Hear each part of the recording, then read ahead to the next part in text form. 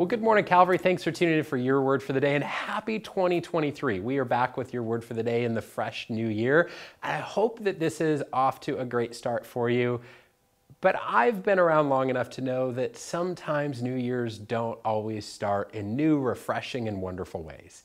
Maybe you're pushing up against some things already. Maybe you were hoping and, and praying that 2023 would be the end of some tension and issues you had with some people. Maybe some situations you were hoping would, would disappear over the holidays, but here they are in a new year.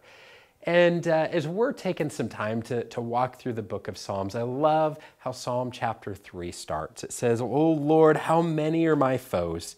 Many are rising against me. Many are saying of my soul, There's no salvation for him in God.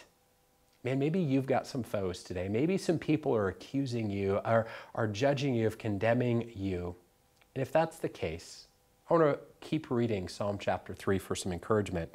Because verse 3 it says, But you, O Lord, are a shield for me, my glory and the lifter of my head. I, crowd, I cried aloud to the Lord, and he answered me from his holy hill.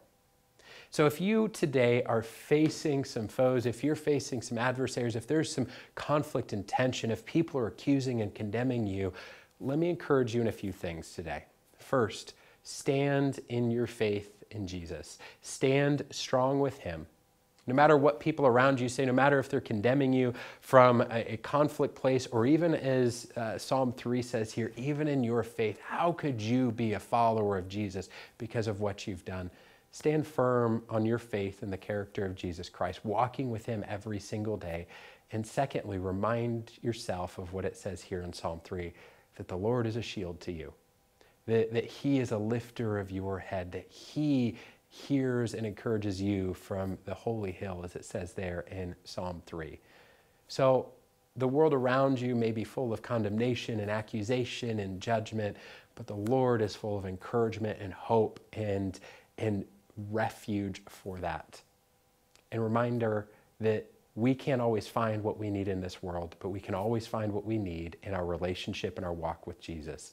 The shielding, the encouragement, the embrace that we need is found in Jesus. So I hope that in this new year, if it's not off to the start you're looking for, I hope that that drives you to Jesus and trusting and walking with Him. And if things are going well, let this be a reminder that the Lord is a shield and He may be working actively to shield you from some gnarly things today and use that to worship Him and be thankful for Him. So I hope that you have a great start to your year and I hope that you remember that the Lord is a shield to you. Have a great day, Calvary. We'll see you next time.